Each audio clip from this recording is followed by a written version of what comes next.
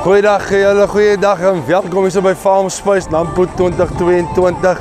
Ek loop sommer 'n bietjie so van by Agricat en toe stop ek met my ou vriend. Ehm um, en toe sê ek vir hom hy moet vir ons 'n bietjie vertel van hulle tapkarre. So kom ons hoor wat hy alles vir ons te sê het. Hey Roan, Môre ja, hoe gaan dit? lekker met jou. Baie goed, dankie man. Yes, hoe gaan dit by julle? Baie goed. Ons het 'n uh, ongelooflike nampo sover gehad. Ehm um, was nie so vertrapping nie, maar dit was 'n konstante vloei.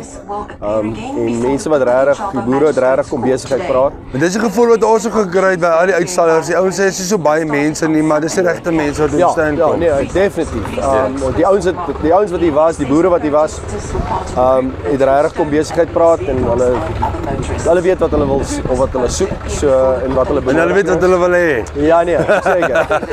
Hoor eens maar vertel gou vir ons 'n bietjie van julle ehm um, karre. Ek bedoel julle is wel wel julle is Ja, goed hierdie- ingegrawe in die mark. Yes. Ehm um, ja, hierdie twee tapkarre wat ons hier het, is nou die 24000 liter en dan hierdie is nou die ouer boetie die 34. Ja. Die groter boetie sal ek sê. Dis 'n lekker 34000 liter. Ja. Ja, so hy het 'n hidrolies geremde as. Ehm um, hy het die groter obviously die groter bande op die 24000 liter kan jy ook die 850 bande nou opsit teen 'n klein prys prysverskil. Ehm um, as wat of jy kan die 17s vat. Jy sal sien ons al ons tapkarre word gebou met individuele modulêre ontwerp waar jy die panele kan afbou. Ja. Ehm as jy dalk iets beskadig het, ons het 'n baie hoë Ah, kwaliteit nice. afwerking op hom. Ehm Ja, so elke elke is amper so. Ja. verskillende segmente. Dis dan nou byvoorbeeld nou uh, iets Dis gebeur en by Ja. maar kyk net daai stukkie vervang. nee, verseker. Ek hoef hom nie in te stuur amper weer ingenieurswerk doen. nie. Dis hy want ek meen as jy nou kyk na die as dit nou 'n soliede klaad basis was vir En hy en hy buig dan is dit en hy skeer Ja. of hy iets breek, dan moet jy weld op hom en so. Hierdie is baie maklik vervangbaar. Um ons trots onsself in kwaliteit. Dit is een van ons grootste goed wat ons waarna toe ons streef. Um ja, so dit is ons basies ons tapkar reeks. ehm Hierdie is nou ja, Nee, praat maar. Ja, so hierdie is nou die groter een van van die twee. So sy uittap kapasiteit is so tussen 8 en 9 ton per minuut. Hy's 34000 liter. Hierdie een, die kleiner enetjie se uittap kapasiteit is omtrent so 5 ton per minuut. Hulle is mooi gebou mater, regtig. Ek kan wil vir julle komplimenteer. Jy kyk net daai stuk breë wiel wat jy daar op het, hè. Seker. Ja, absoluut baie En dis kom ek sê, ja, kyk hier, um, op die op die 24000 liter het ons baie navraag gekry oor die 850 bande. Hmm. Ons het baie navorsing gedoen en baie gekyk waar kan ons vir die boere akkommodeer om teen 'n klein prysverskil. Ons wil nie um 70 of 80000 rand want bande is baie duur. Ja. En vir al die 850 bande is nie jou algemene band nie. Um so ons het toe nou bande gekry en so is 'n klein prysverskil wat ons nou die 850 bande op die Op daai sit vir 24000 my. liter kan sit so die boer het daai opsie. Ja, so, nice. so hy kan kies of hy die die groter of die normale band wil opsit. Kyk hier voordat ons by hierdie um, kar hier agter jou kom. Yes. Uh, sê vir my staal is staal nê, nee, maar hoekom is julle hoe, hoe bou julle julle julle masjien dat hy die kwaliteit het wat hy het? Julle spesiale uh, Ja, ons ons het ons eie ons doen al ons in-house laser cutting in die fabriek. Ons fabriek is geleë in, in Pretoria. So ons doen al ons buigwerk daar. Um, ons het nou nuwe spesiale spray booths laat inbou um, wat temperatuur gereguleerd is. So ons doen baie baie moeite om 'n hoë kwaliteit produk uit te sit vir die boer daar buite. So dis van die staal af tot die verf alles, dis Regtig. julle julle Ja. monitor hy goed baie fyn. Nee, verseker. En ehm um, jy weet, die ding is is jy moet verf en kwaliteit en jou afwerking speel 'n groot rol. Um, Dit doen jy weet, hy. die ding is is jy wil jy wil 'n produk koop ehm um, en dan oor 5 jaar weer hierdie produk kan verkoop teen 'n goeie tweedehandse prys. En en ek meen ons nou sien dit goed, ja. ons tweedehandse mark is verskriklik goed. Ehm um, die boere kry baie keer meer as wat hy vir hom betaal het. Verstaan? So Dit dit is dit is nou lekker besigheid. Ja, nee, verseker. Uh, vertel vir ons 'n bietjie van hierdie kar. Dit is julle uh, Kunsverstapkar reeks. Kunsverstapkar. Ja, hierdie einste een het nou dubbel augers, so dis basies maar jy kan twee planters volmaak. Dit is 'n 15000 liter. So die gewildste een onder hom is maar die 10000 liter. Ehm um, dis wat dis maar eintlik 10 ton kunsmis ja, as jy teen nou so. kosmos ja.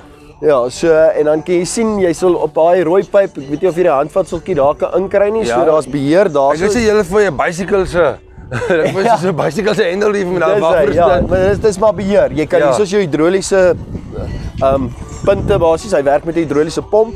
So jy beheer hom hierso. So jy daai Okay. daai um bicycle se handvat se trek, dan dan uh, kan jy hom laat gaan of stop. Okay, Ja. dis baie nice. So hy tap so 'n ton per minuut uit. So wat nog ons ideaal is.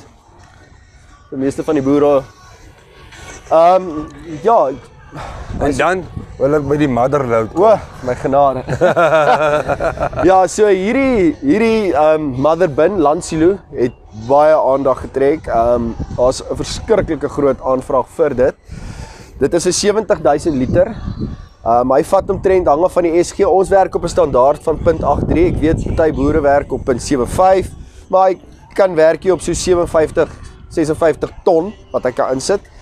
Um hy is nie gemaak om rond te beweeg nie. So as jy sit hom staties langs jou land en jou tapkar hardloop tussen die stroper basies in hom. En ek sien julle het op hulle het julle load cells gesit Yes. vir 'n skaal. So kan ek 'n so ek ek kan presies my ehm um, tonnenmate binne weeg. Ek kan amper ek hoef nou nie 'n silo te ry nie. As ek nou my stroper wil instel Ja. byvoorbeeld met die tonnenmate wat ek Ja. uittap en alles dis dan ehm um, en ja vir ander doeleindes ook dan weet ek sommer wat is die gewig. Ja, Janu, die groot ding van hierdie van hierdie weegstelsel en ons het ons eie program ook nou gekoop.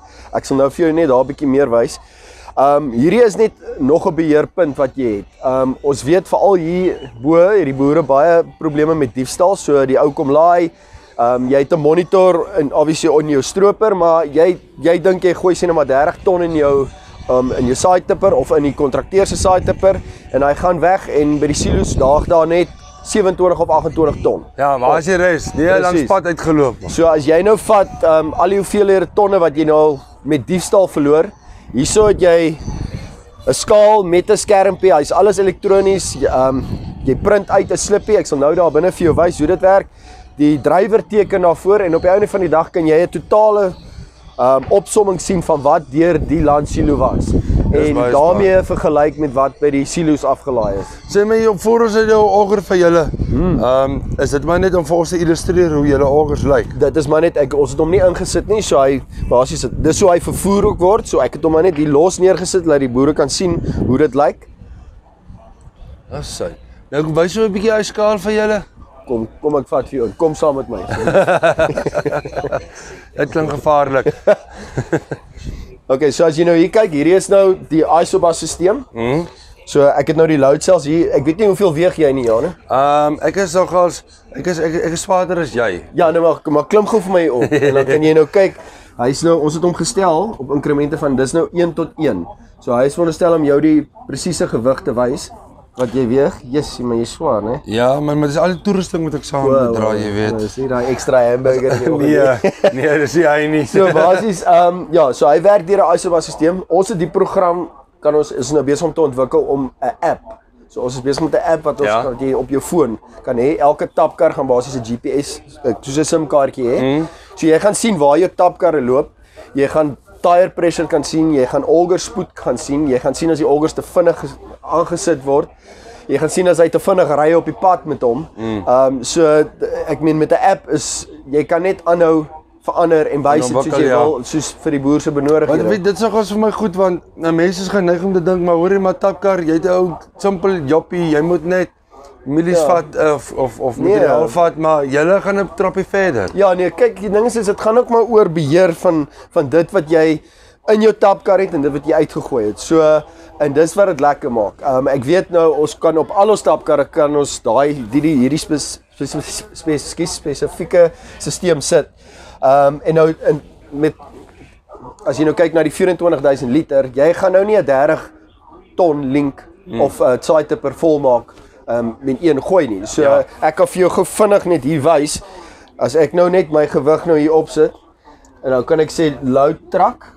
Mhm. Ehm um, daarso kan ek nou confirm die datum en alles, so ek confirm net gou dit. So daar kan ek die registrasie insit. Kom ons sê nou Wow, okay. Janu. Mhm. Jy sit die trok se registrasie. Dis lekker. Jy kan na die tyd kan jy gaan en jy kan daai registrasie gaan opsoek per trok, ehm um, of per silo naam. So maar sit nou net gou daar Janu. Hy en nou kan ek kom as ek daai play druk, nou gaan ek unload. Ja. So nou unload ek, maar ek wil nou net 'n sekere hoeveelheid want ek wil die trok nou vol maak. Ja. So kom ons sê ek sit hom nou daar. Op ek haal nou net 5 43 kg. Nou pause ek op. Yes. Nou het ek daar is nog steeds 32 kg in die tapkar. Binne in die Nou tapkar. save ek hom daar. En dan Okay. kan ek hom print. Dan gaan hy nou hier uitkom Ah, en dan solank kom, dit my rekening is by die winkel nie. ja. En dan kom maar nou nog 'n trok. Nou wil sê ek okay, right, ek moet nou op 'n nuwe trok se registrasie gaan werk. Dan as ek nou net dan, dan sê ek okay, Janu 2, ag genade. Janu Janu 2 het nou sê nou maar ek sê nou kom ons sê Janu Z. Gaan Yes. Nou lank vat nie. Het nou net hier gestop Ja. en ek sê okay en dan play ek en dan haal ek hy laaste 30 kg uit. En dan en dan kan ons en dan kan jy hom weer print. En dan pause ek hom, want ek's daar, ek's nou klaar met hom, dan hmm. save ek hom en dan kan ek hom weer print. Okay. En dan jy sal sien hierso, daarso sal hy die nommerplaat is nou Janu, Ja. die datum en dan natuurlik die gewig. Alles en dan kan jy die die uh, drywer laat teken. Ja. So jy hou dit en dit outomaties sit daai verantwoordelikheid in die drywer se hande. So hy weet, hier is nou iets word gemonitor. Ja. So dit gaan vir hom baie moeiliker wees om as hy iets wil vat of iets wil steel Ja. om dit te doen. Moet dit doen. Maar, Maar jy, jy het het nog steeds, ja. jy het nog steeds en dan kan ek vir jou hier wys. Nou kan ons teruggaan. Ehm um, ek kan nou vir jou gaan wys. Hierso is nou lookup. So hierso kan jy nou al jou jy kan insit daarso jou inligting, maar jy kan nou sien daarso is Janu wat ons Ja, gelaai. soos al my my rekorde ja. Ons het GG, het ons gelaai R, ABB, alles is op rekord. Alles kan jy dan op 'n USB stokkie sit.